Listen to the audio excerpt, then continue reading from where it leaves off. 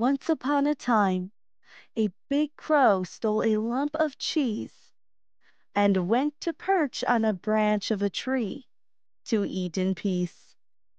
A fox was following his sharp nose through the wood in search of a bite to eat. He saw a crow on the limb of a tree overhead. This was by no means the first crow the fox had ever seen. What caught his attention this time and made him stop for a second look was that the lucky crow held a bit of cheese in her beak. No need to search any farther. Here is a dainty bite for my breakfast.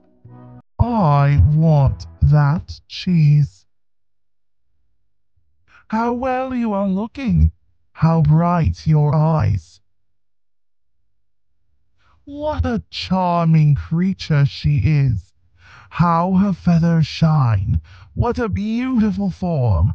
And what splendid wings. Such a wonderful bird should have a very lovely voice, since everything else about her is so perfect. Could she sing just one song? I know I should hail her Queen of Birds. Listening to these flattering words, the crow wanted very much to be called Queen of Birds.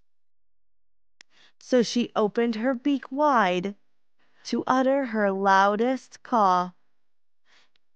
And down fell the cheese straight into the fox's open mouth. Thank you, Mistress Crow. In exchange for your cheese, I will give you a piece of advice.